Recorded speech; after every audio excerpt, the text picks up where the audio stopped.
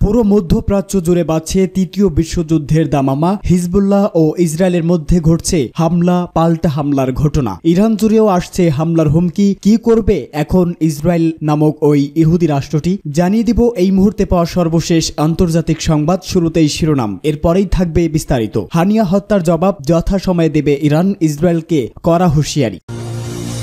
এদিকে আক্রমণাত্মক অস্ত্র বিক্রি করা যাবে সৌদিকে, নিষেধাজ্ঞা প্রত্যাহার আমেরিকার নিশানায় ইরান। এরপরে জানাব ইরান হিজবুল্লার হামলার ভয়ে কাঁপছে ইসরায়েল, নিচ্ছে ব্যাপক প্রস্তুতি। পরেই জানাব দেশ থেকে অবিলম্বে মার্কিন সেনা প্রত্যাহারের দাবি সিরিয়ার।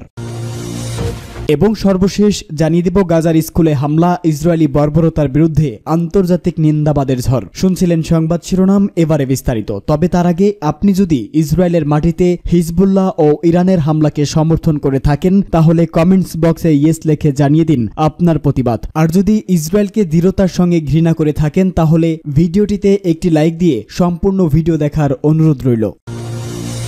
হানিয়া হত্যার জবাব যথাসময়ে দেবে ইরান, ইসরায়েলকে করা হুঁশিয়ারি। ইরানের ইসলামী বিপ্লবী গার্ড কোর তেহরানের হামাস নেতা ইসমাইল হানিয়ার হত্যার ঘটনাকে জাতিসংঘ সনদের স্পষ্ট লঙ্ঘন বলে নিন্দা করেছে। সেই সাথে সতর্ক করে হুঁশিয়ারি দিয়েছে যে, ইসরায়েল যথাসময়ে তার মূর্খ সন্ত্রাসী কর্মকাণ্ডের জবাব পাবে। আইআরসির মুখপাত্র এবং জনসংযোগ বিভাগের উপপ্রধান brigadier general Ali Mohammad Naini দেশটির কম প্রদেশে জাতীয় সাংবাদিক দিবস উদযাপন অনুষ্ঠানে এসব কথা বলেন। তিনি আরও বলেন, হামাস প্রধানের হত্যা একটি জ্ঞানমূলক ও রাজনৈতিক যুদ্ধের উদাহরণ। এ রাষ্ট্রদ্রোহ সৃষ্টি করতে এবং প্রতিরোধ ফ্রন্টের প্রতিরোধ শক্তি কমানোর জন্য পরিচালনা করা হয়েছিল। ইরানের বিপ্লবী গার্ডের মুখপাত্র আরও উল্লেখ করেন, ইরানের প্রতিক্রিয়ার ভয় সমগ্র দখলকৃত অঞ্চলগুলিকে গ্রাস করেছে। ইসরায়েল মনে করে যে তারা হত্যাকাণ্ড পরিচালনা করে যুদ্ধক্ষেত্রে তার পরাজয়ের ক্ষতিপূরণ করতে পারবে, কিন্তু তার অস্তিত্ব এবং আত্মপরিচয় ধ্বংসের দ্বার প্রান্তে রয়েছে। তিনি আরও বলেন, ইসরায়েল প্রতিরোধ ফ্রন্টের মনোবল দুর্বল করতে ব্যর্থ হয়েছে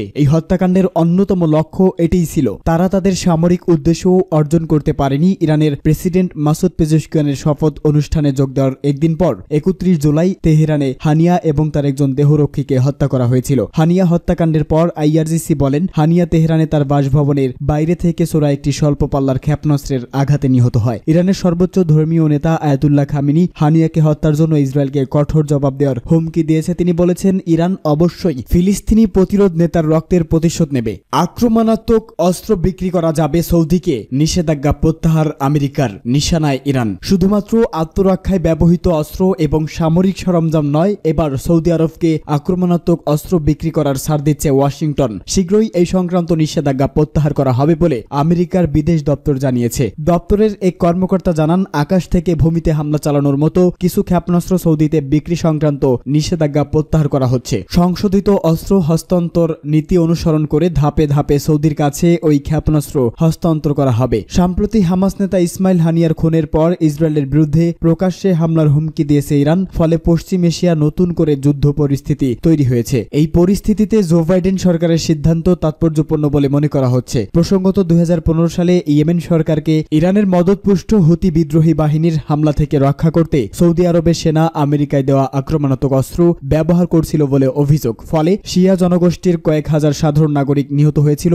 এরপরই সৌদির বিরুদ্ধে দু হাজার একুশ সালে ওই নিষেধাজ্ঞা বলৎ করেছিল বাইডেন সরকার। দু সালে রাষ্ট্রপুঞ্জের মধ্য অবস্থায় হুতিদের সঙ্গে সংঘর্ষ বিরতি চুক্তি সইয়ের পরে ইয়েমেনের মাটিতে কোনো হামলা চালায়নি সৌদি। তারই পরিপ্রেক্ষিতে এই নিষেধাজ্ঞা প্রত্যাহারের সিদ্ধান্ত বলে আমেরিকার বিদেশ দপ্তরের দাবি। প্রসঙ্গত, আপাতত দেশটিতে কয়েকটি ব্যতিক্রম ছাড়া পশ্চিম এশিয়ার দেশগুলোর সঙ্গে সুসম্পর্ক বজায় রেখে চলেছে আমেরিকা। সেখানকার তেলের খনিগুলোতে আমেরিকার আধিপত্য ও কারও অজানা নয়। কিন্তু সম্প্রতি পশ্চিম এশিয়া কূটনৈতিক তৎপরতা শুরু করেছে চীন জানিয়ে আমেরিকার উপর চাপ বেড়েছে। ইরান ও হিজবুল্লার হামলার ভয়ে কাঁপছে ইসরায়েল। ইরান ও হিজবুল্লার প্রতিশোধমূলক হামলার ভয়ে নির্ঘুম রাত কাটাচ্ছে ইসরায়েলবাসী। আগামী চব্বিশ ঘণ্টা ইসরায়েলের জন্য সবচেয়ে ভয়াবহ সময় বলে দাবি করেছে ইসরায়েলি মিডিয়াগুলো। ইসরায়েলি গণমাধ্যমগুলোর অনুমান, ইরান ও হিজবুল্লাহ আগামী চব্বিশ ঘণ্টার মধ্যে ইসরায়েলের বিরুদ্ধে একযোগে হামলা চালানোর পরিকল্পনা করছে। একটি ইসরায়েলি মিডিয়া দাবি করেছে করেছে যুক্তরাষ্ট্র এবং ইসরায়েল বিশ্বাস করে যে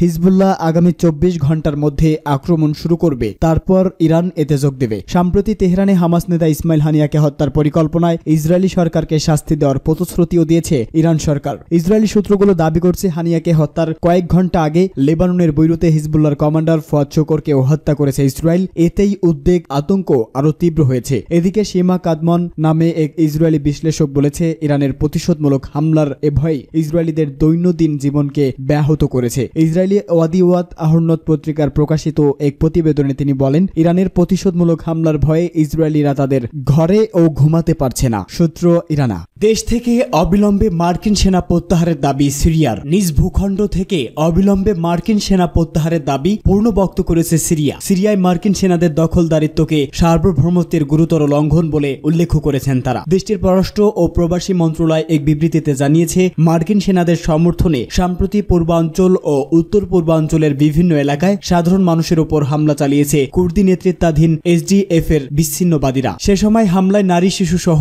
অনেক বেসামরিক মানুষের হতাহত হয়। পররাষ্ট্র মন্ত্রণালয় আরও জানান, বিভিন্ন গ্রামের পরিবার পরিজন নিয়ে কোনো মতে বেঁচে থাকা নিরস্ত্র মানুষের উপর মার্কিন বিমানের সহায়তায় হামলা চালায়। এসডিএফ এ ধরনের হামলাকে বর্বচারিত বলে আখ্যা দিয়েছেন তিনি। সিরিয়ার পক্ষ থেকে বলা হয়, পূর্বাঞ্চল ও উত্তর পূর্বাঞ্চলের সাধারণ মানুষের বিরুদ্ধে এইসব হামলা অমানবিক ও অনৈতিক। পর্যাপ্ত খাদ্য এমনকি খাবার পানির সুবিধা থেকেও বঞ্চিত করা হচ্ছে তাদের। এর মধ্য দিয়ে সম্মিলিতভাবে নিপীড়িত হচ্ছে এই অঞ্চলের মানুষ। মার্কিন সেনাবাহিনীর উপস্থিতি তাদের বিরুদ্ধে চলমান যুদ্ধকে কেবলই প্রলম্বিতই করছে। যুক্তরাষ্ট্র বিচ্ছিন্নবাদীদের সমর্থন নিয়ে সিরিয়া বিরোধী কোনো পরিকল্পনা বাস্তবায়ন করতে পারবে না বলে জানিয়েছে সরকার। যুক্তরাষ্ট্রকে এ ধরনের চর্চা থেকে সরে আসতে অবিলম্বে সেনা প্রত্যাহারের আহ্বান জানিয়েছেন তারা। সিরিয়ার মানুষ বিচ্ছিন্নবাদীদের সমর্থন করে না, তাদের সেই অবস্থানের প্রতি যুক্তরাষ্ট্রকে সম্মান জানানোরও আহ্বান জানানো হয়। ইসরায়েলি বর্বরতার বিরুদ্ধে আন্তর্জাতিক নিন্দাবাদের ঝড়। অবরুদ্ধ গাজা উপত্যকায় আলদারাজ এলাকায় একটি স্কুলে আশ্রয় নেওয়া অধস্থ লোকজনের উপর সকালে ইহুদিবাদী ইসরায়েল যে বিমান হামলা চালিয়েছে, তার বিরুদ্ধে সারা বিশ্ব থেকে নিন্দা ও প্রতিবাদের ঝড় উঠেছে। এই বর্বর অপরাধ যজ্ঞের বিরুদ্ধে সৌদি পররাষ্ট্র মন্ত্রণালয় কঠোর ভাষায় নিন্দা জানিয়ে বিবৃতি দিয়েছে। মন্ত্রণালয় বলেছে, গাজা উপত্যকায় ইহুদিবাদী ইসরায়েলের এই গণহত্যা বন্ধ করার প্রয়োজন। ইহুদিবাদী ইসরায়েলের মাধ্যমে আন্তর্জাতিক আইনের চরম লঙ্ঘনের কারণে গাজা উপত্যকায় নজিরবিহীন মানবিক বিপর্যয়ের মুখে পড়েছে। কাতারের পররাষ্ট্র মন্ত্রণালয় গাজার এই হামলাকে ভয়াবহ গণহত্যা ও নিরাপত্তাহীন বেসামরিক জনগণের বিরুদ্ধে বর্বর অপরাধ বলে উল্লেখ করেছে। এই ঘটনার নিরপেক্ষ তদন্তের জন্য জাতিসংঘের পক্ষ থেকে ফ্যাক্ট ফাউডিং মিশন গঠনের আহ্বান জানিয়েছে কাতার, মিশর এবং জর্ডান কঠোর ভাষায় ইসরায়েলি হামলার নিন্দা জানিয়ে বলেছে। এই হামলা সব ধরনের মানবিক মূল্যবোধের লঙ্ঘন। নিন্দা জানিয়ে বিবৃতি প্রকাশ করেছে লেবানন, সংযুক্ত আরব আমিরাত, ইরাক, তুরস্ক ও সিরিয়া। ইসরায়েলি বিমান হামলার নিন্দা জানিয়ে রাশিয়া বলেছে, মধ্যপ্রাচ্যে যুদ্ধ থামানোর যে প্রচেষ্টা চলছে, এই হামলা তাকে বাধাগ্রস্ত করল। রুশ পররাষ্ট্র মন্ত্রণালয়ের মুখপাত্র মারিয়া জাখরভা বলেন, আমি মনে করি কোনোভাবেই এই হামলা ন্যায্য হতে পারে না। পাকিস্তানের প্রধানমন্ত্রী শাহবাজ শরীফ জোরালো ভাষা ইসরায়েলি হামলা নিন্দা জানিয়ে বলেন, এ ধরনের বর্বরতা কোনো ঐতিহাসিক নজির নেই। ইসলামী সহযোগিতা বা ওআইসি হামলার নিন্দা জানিয়ে বলেন, এর মধ্য দিয়ে গাজা ইসরায়েলের বর্বরতা, গণহত্যা, বিস্তার ঘটল।